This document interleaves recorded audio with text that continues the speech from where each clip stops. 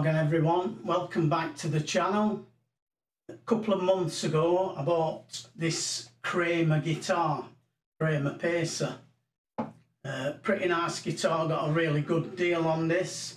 Uh, did a review on it a while back uh, and said thought it was a good guitar, especially considering the price that I paid for it. However, I've had it a couple of months now. There's a couple of things that I'm not really too fussed about. So if you look on the back, in the back cavity, I've took the plates off. So I don't like this thin block. And I don't like the mini pots and I definitely don't like that mini toggle switch for changing the pickups. So I'm going to have a go at fitting a Floyd Rose brass block I don't know if this will fit. I'm hoping it will. It might do, it might not. And I've also bought some new springs uh, because these seem a bit loose to me and they don't seem to be pulling it back into tune enough. Uh, it's not bad, but I think it could be better. So we'll just have a quick listen at it as it is now before I make the changes because when I change these pots, and the wiring and the capacitor and everything, it's probably going to change the sound of the guitar. So this is what it sounds like at the minute. This is the neck pickup.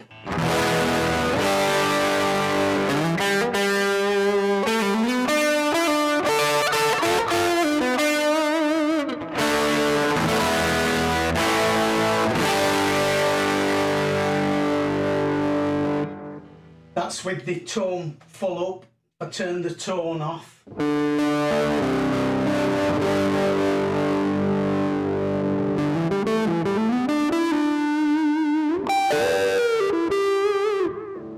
Uh, middle position, everything up full.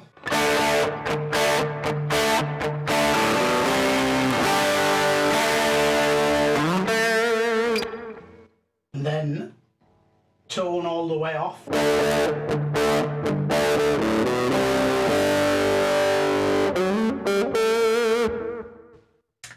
Then the bridge pickup, tone up full.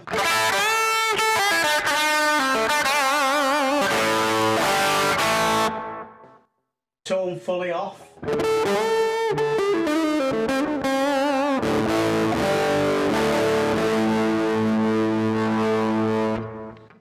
But we'll just do a quick dive bomb or two and see if it stays in tune.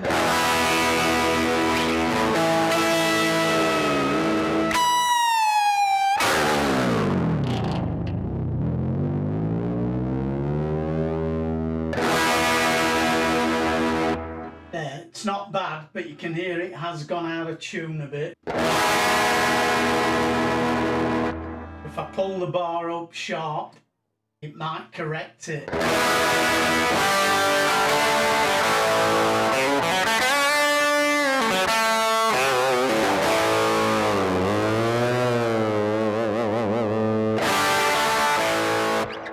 Yeah, so it's not bad, but I think it could be better I think changing those springs will help. So I'm going to try that rather than just tighten these screws up.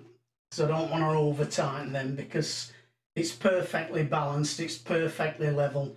If I tighten those screws up, it's going to uh, affect that balance. So I'm going to go away, I'm going to do this work, change the pots, change the switch and uh, see if I can get that brass block to fit in place of this thinner one. Uh, and then I'll come back and we'll have another listen at the guitar. Before I do that though, as ever, if you wouldn't mind helping me out, subscribe to the channel. It doesn't cost you anything uh, and it will help me out.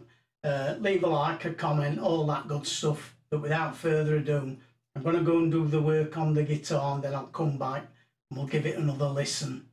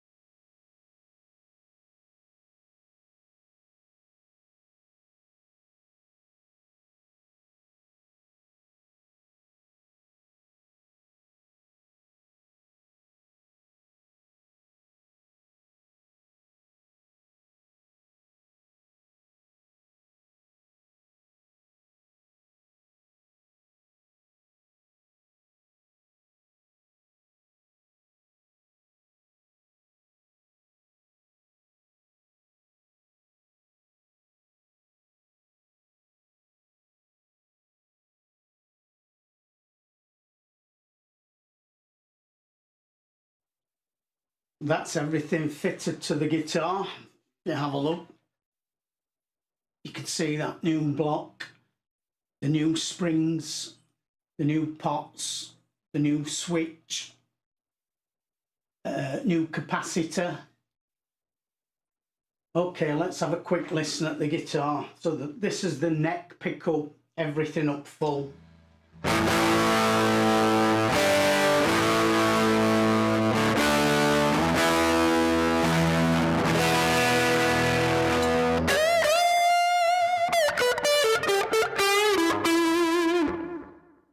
With the tone all the way off.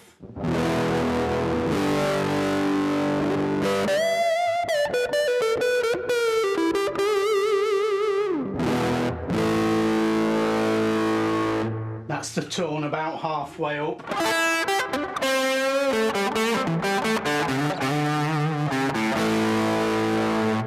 Tone up full again. I'm going to roll the volume down a bit.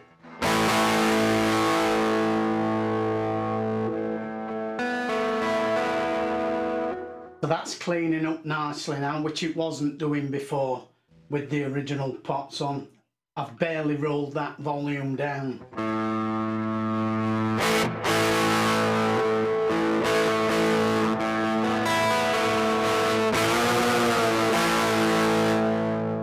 I roll it all the way down.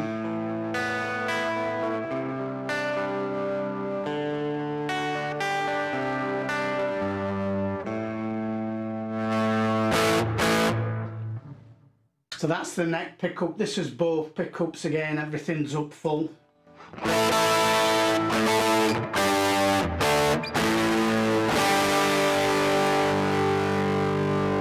Again, roll that middle volume down a bit.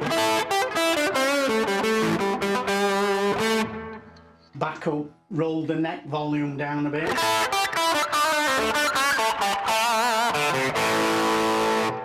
So I'm getting a lot more tones out of the guitar now. I'll roll the tone down. Everything's up full at the minute.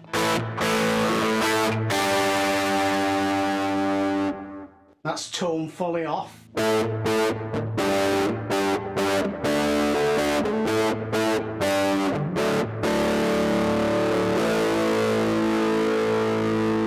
That's tone about halfway up.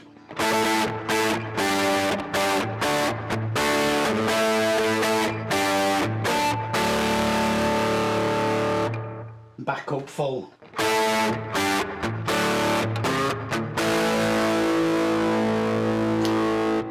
Bridge pickup, everything up full.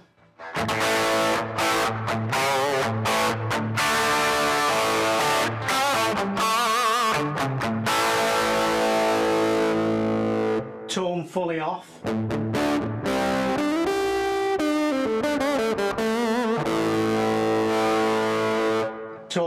Up.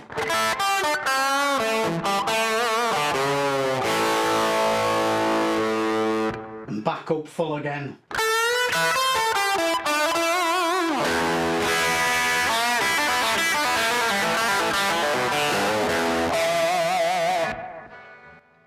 So straight away those those uh, pickups, which sounded good, sorry, which sounded good to start with, they just sound a lot better. There are much more life in them, more presence.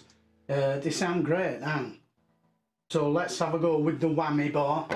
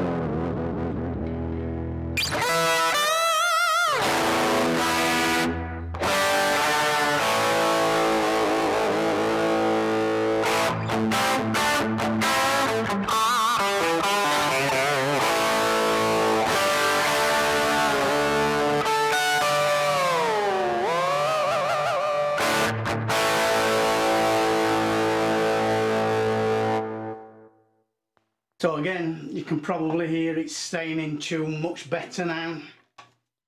So that's with those new pots, new switch, uh, new springs and new tremolo block. So these springs, they're much harder than the old springs that were on. So these two screws here, they were screwed almost all the way in with the other springs and it still wasn't returning to, to pitch properly. Uh, but these springs are much harder, much tauter, and uh, I've not had to screw them in anywhere near as far to get the bridge nice and level and it's returning to pitch a lot better. So it was a good guitar before. This is a great guitar now. Uh, the pots that I've used, I've used Bourns 500k 500k pots for the volumes, uh, and then I've used a CTS 250k for the tone, and I've put an orange drop capacitor to replace the old one. I've redone all the wiring and as you can see I've changed that silly little mini toggle switch for a proper three-way switch. Uh, I've had to use these odd knobs to put on the volume and tone controls because they were all I could find. Uh, but I will get some new knobs for it at some point, no doubt. But yeah, this is a great guitar now. And bear in mind, I only paid £199 for this guitar, so 199 and the upgrades have cost me about £50. They probably cost you a bit more today because a lot of these parts I'd already got. I've only really bought the block and the springs, everything else I already had.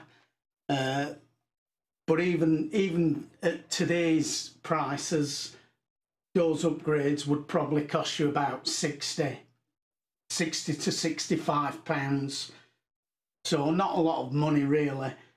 Uh, so this guitar has, has still come in at under 250 pounds even after I've spent on those upgrades. And for 250 pounds, it's a pretty good guitar.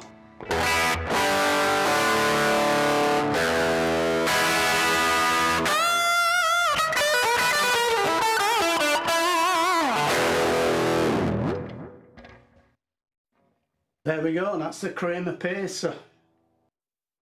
That's it from me this week, folks. Uh, just hope that gives you some idea of what just making a few decent quality upgrades to a guitar, what a difference it can make. Uh, this is a great guitar now, plays really great, sounds great, so I'm, I'm well happy with it. But anyway, that's the video from me for this week. I'll try and get another one up for you next week and uh, take care of yourselves. Bye for now.